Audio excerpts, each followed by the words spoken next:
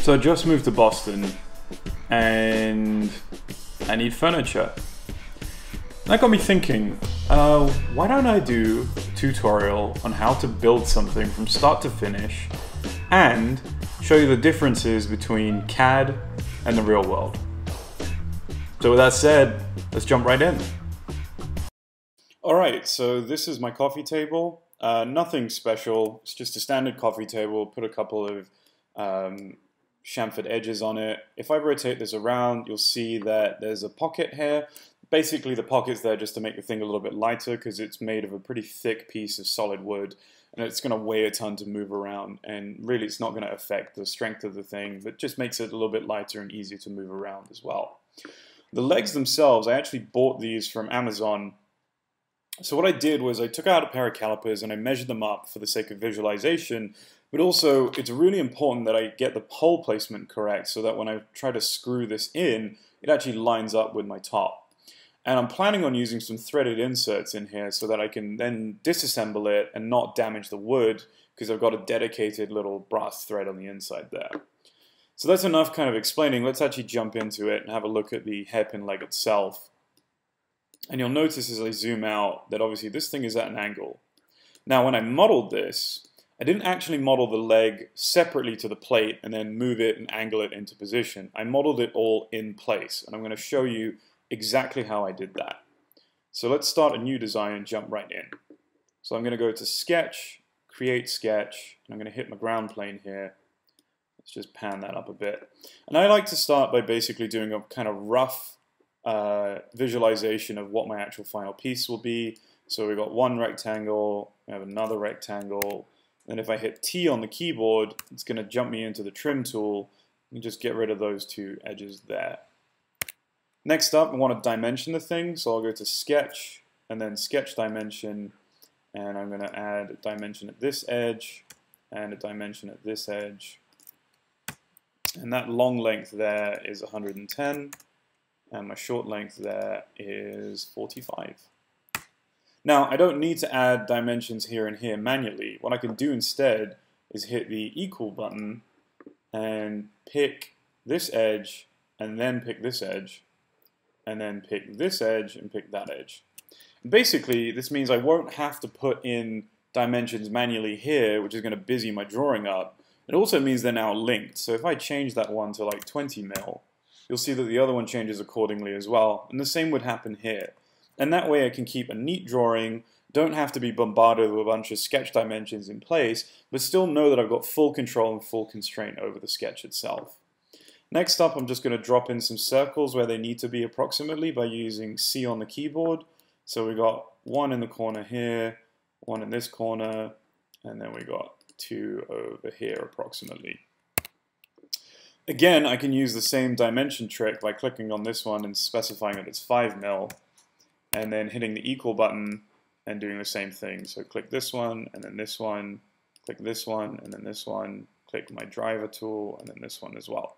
So now I know these are all the same length, and if I do the same thing, if I change that to 7, the rest of them change accordingly too. Next up um, is actually positioning these things. So when I measured um, my actual leg, the one that I have uh, in the workshop. Using a pair of calipers, I could only really measure from this edge to that edge based on the calipers I had available to me, as well as the dimensions. And now you may, you may be wondering how it is that you actually add a dimension from an edge of a circle to the other edge so that you can position it correctly.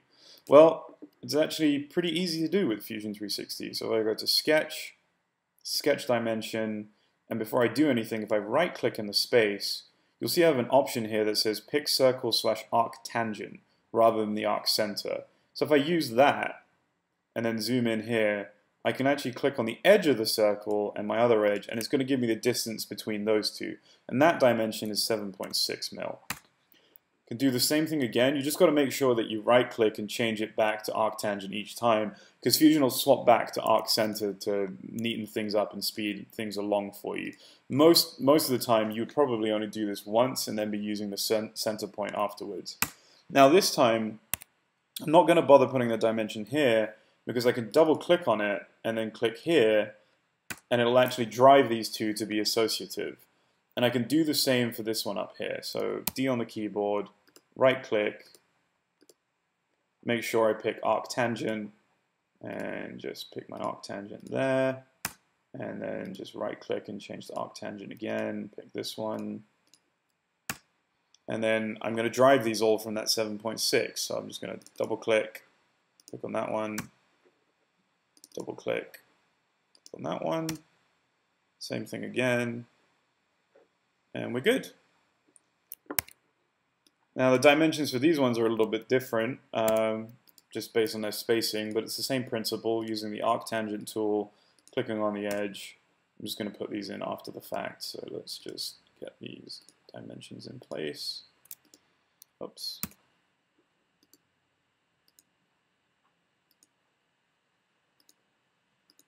That. And then same thing again.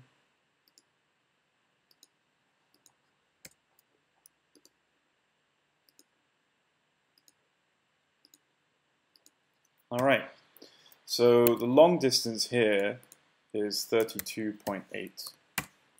And this distance is once again 7.6.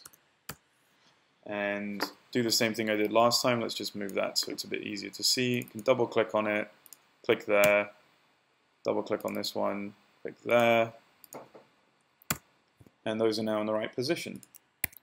Next up, I want to put some points in that I'm going to use as references for where the actual leg itself goes. So I'm going to start by hitting L on the keyboard to draw a line. And I'm just going to draw a diagonal across here. And if I click on that and then click here to change it to a construction line because I don't need it to be part of my model space, then I'm going to go hit S on the keyboard and start typing in PO. And you'll see that point appears up here. Click on point. I got one in the midpoint there, and you'll see before I click that you get a little blue triangle. That's the signal to let you know that you're at the midpoint. So click there once, then I got another point over here, another point over here. And just need to dimensions these up. So, whoops. So between here and here, we have 14 mil. And then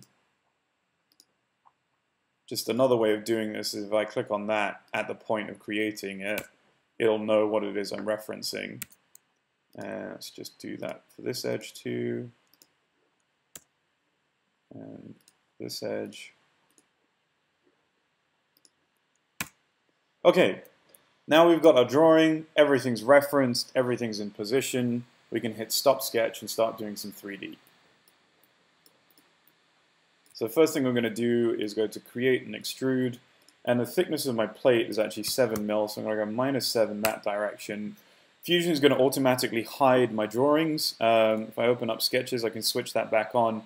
By the way, if you don't like that Fusion does that, if you go to, if you click on your name and go to Preferences, you'll see in the General tab, if I go to Design, the bottom option here says Auto Hide Sketch on Feature Creation. If you deactivate that, then when you create a feature from the, the sketches, it won't auto hide them. Some people prefer that, some people don't. I prefer to use um, uh, the auto hide feature just to keep things neat as I go along. So I'm going to leave that as it is. Next what I'm going to do is create a reference um, plane using the construct tool if I go to offset plane so that I know the bottom height of my leg. Now I've got a 17, I've got a 7 mil plate here and I know that the overall length is 16 inches because I bought these in the US. So if I type in 16 inch, and then put minus 7 mil, you can see it over here in the dialog box. Fusion is actually going to auto-calculate and factor in the different units of measurement I'm using. Next up, I'm going to go to Sketch, Create Sketch, and click on this reference plane I just created. And all I'm going to do is project in that point there to the plane I'm working on. Now I hit Stop Sketch, and you'll see I've got the reference plane. The construction plane was also um, auto hidden after I created the sketch on that plane, so things are now nice and neat. And this is where it gets clever. So under construct, there is an option called plane through three points. Now I have two reference points down here, which are where my legs connect to the plate, and then the apex of the uh, curved round bottom there too. And as soon as I click on that third one, you'll see a construction plane pops into view and it's at the exact angle that I need it to be.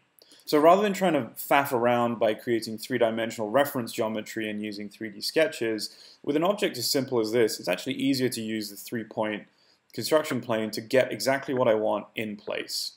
So once again, I'm going to create a sketch, use this plane, and I can just start by going to, if I activate 3D sketch here, and then hit sketch, circle, and two-point circle, I should be able to, yep, there it is. I can snap to that point I just created. The radius of the bottom here is approximately 30 mil, sorry, the diameter. And next I'm just going to slice, and if I rotate up a bit, you can see grayed out here are the points that I used. So I'll go to sketch and then line, and I should be able to snap to that point up here and then directly onto the tangent. You'll see we get a little tangent symbol. That lets us know we're creating and connecting to our circle at the tangency. And then I can just trim that bit of line I don't need and hit stop sketch. All right, now my reference is in place. Last step to do is go to create and then pipe. Now when I click on my pipe, because I'm bashing into another geometry, Fusion is going to automatically assume that I want to cut. I'm actually going to tell it that I want to join and then I'm going to hit 10 mil. Actually, I'm going to use a new body and just show you uh, what happens when you create this pipe. So as soon as I hit OK, everything looks kind of fine, but if I zoom in, look at this from an angle, you'll see that the, uh, the pipe doesn't actually connect all the way through. And that's because the pipe is only ever going to draw to the endpoint of a line. So to extend this through, if I just go to modify, press pull, and then click on my, I just zoom in and click on my surface there and then just pull it through like that and repeat that same process on the other side. And I'm having trouble picking the part I need here. So if I long press with the left mouse button, I can actually find the face I want, which is that one there, in this little depth tree that appears.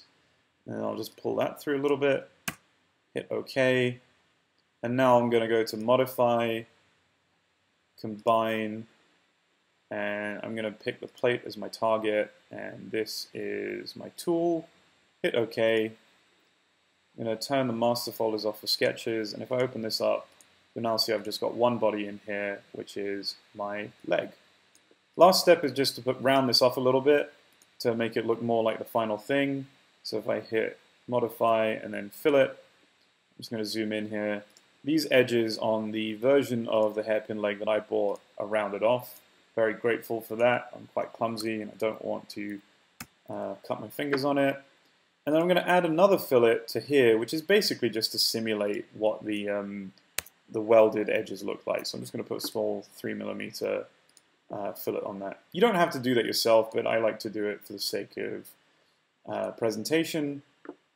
And then the last step I'm going to rotate this thing by right-clicking and then going to Move slash Copy, click on Body 1, and I'm just going to rotate this 180 degrees. That way, when I link the file into the coffee table itself, it's already going to be oriented up the right way for me. All right, that's looking good.